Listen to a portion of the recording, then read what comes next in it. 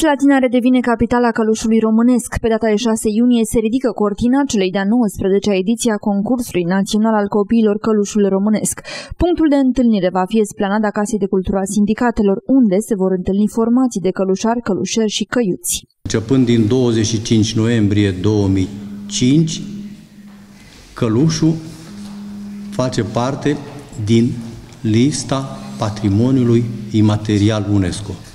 În 2008 au mai intrat pe această, a mai intrat pe această listă doina românească și în 2012 dansul fecioresc din Ardeal. Nu mi explic de ce în turnele din străinătate, acolo unde spectatorii nu știu mai nimic despre cultura noastră, se ridică în picioare și ne ovaționează. Ce reușește să transmită muzica sau dansul, jocul uh, virtuos al călușarilor.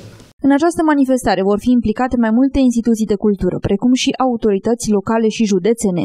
Activitățile pe care le desfășoară uh, Centrul Județean pentru Conservarea și Promovarea Culturii Tradiționale debutează în prima zi a Rusalilor, duminică, pe data de 4 iunie. Uh, în fiecare localitate din județul Olt, sau în marea majoritate a localităților din uh, județul Olt, cetele de călușari merg și joacă călușul la gospodăriile cetățenilor, pe, nu numai duminică, ci pe parcursul întregii săptămâni. Cel mai important și așteptat eveniment din cadrul acestui concurs național este pe data de 7 iunie, când peste 1000 de persoane vor juca împreună călușul.